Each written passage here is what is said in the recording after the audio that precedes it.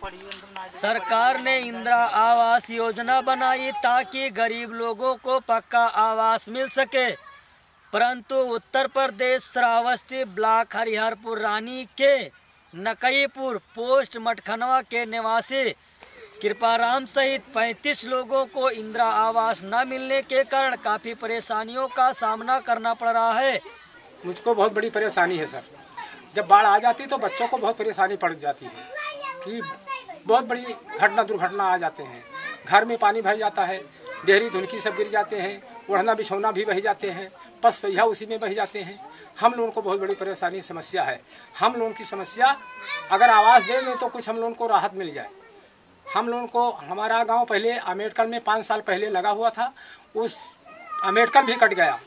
हम लोगों ने बहुत से प्रयास किया, मैं वीडियो फिर गए, गाँव का प्रधान फिर गए डेम तक पहुँचे हुए थे लेकिन हमारा लोन की कहीं सुनवाई नहीं आज तक हुई।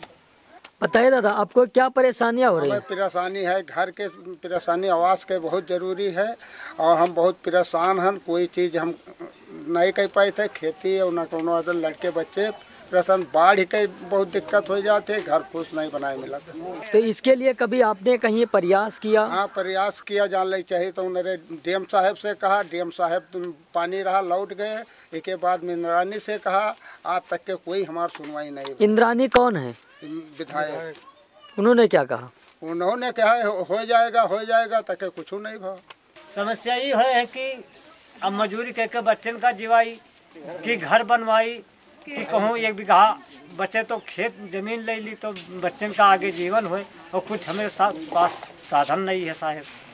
प्रयास तो साहेब बहुत किन प्रधान ठिर गए मैंने और दो चार मिनट से कहबो कि नहीं लेकिन कोई तवज्जो हमारे काम बात के नहीं मैं और मेरा समुदाय चाहता है कि इन 35 गरीब परिवार के लोगों को इंदिरा आवास दिलाया जाए ताकि इनकी समस्याएँ दूर हो सकें। मैं इस वीडियो को देखने वाले सभी दर्शकों से हमारी अपील है कि आप लोग खंड विकास अधिकारी का मोबाइल नंबर पंचानबे पैंसठ चौवालीस डबल ज़ीरो तीस पर कॉल करके दबाव बनाएँ और हमारी मदद करें। मैं रईस अहमद उत्तर प्रदेश, जिला श्रावस्ती, इंडिया नाट के लिए।